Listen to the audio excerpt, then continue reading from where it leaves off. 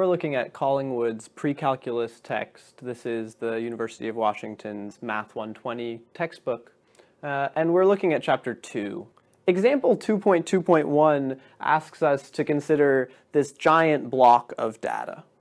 Uh, the data represents the weekly sales numbers for some company. And the question that we're asked to consider is, how should we represent this data in order to communicate it effectively? This is a huge question in mathematics and more generally in life, is we have some information. How can I communicate this information in order to have it received effectively, in order to have my audience actually see and understand what I'm trying to communicate with them? The data is given to us in the form of a table. And we notice in the table that the first column represents the week number, week number one, week number two, week number three. And the second number represents the total sales. So we can represent this using a coordinate system. In particular, we have a bunch of pairs of values. We have,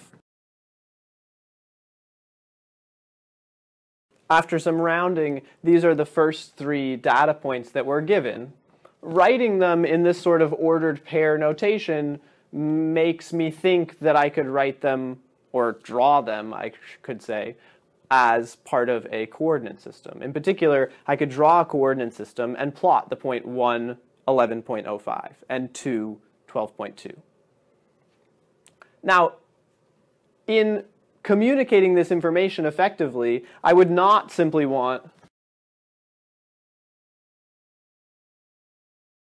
I would not simply want to draw some axes, plot some points, and say, look, I've modeled the data. In particular, if you showed me this chart, I would say, uh, I have no idea what you're talking about. What other information do we need to include on graphs in general? Well, we should include some indication of the units involved, and some labels of what we're actually talking about here. So I might label this by saying that my x-axis is representing the weeks, week number one, week number two, week number three, and my y-axis is representing my sales. But still, this isn't really getting the picture across because this 11 here is actually not clear still. What do I mean when I say that on week one I had 11 sales? What I particularly mean is, is that my y-axis is representing my sales numbers in thousands of dollars. So here, my graph is actually communicating information. I have my week numbers, and particularly if my graph went out to 52 weeks, it would be quite clear that this is representing over the course of a year. And I have for each week the associated amount of sales in thousands of dollars. I'll point out that the range of sales numbers is really quite massive here. In particular, on week one, we have 11, meaning $11,000 of sales. And on week 50, we have 1,484 if I did draw my graph as is and tried to count up 14, 15, 16, 17, 18, I would find that by week 50, there's no way this would fit nicely on my chart.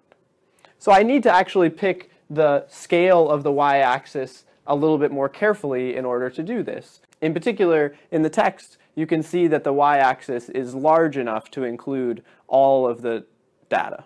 One choice that you might make here uh, in representing this data a little bit differently would be to have this y-axis grow a little bit differently. In the text, they have the y-axis grow 200, 400, 600, 800, 1000, 1200. Each notch is growing by 200.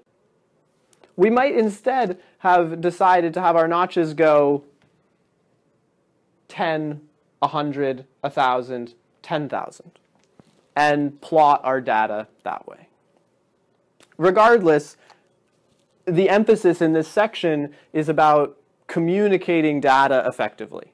And in order to communicate data effectively using charts, we need labels, we need units, and we need a scale.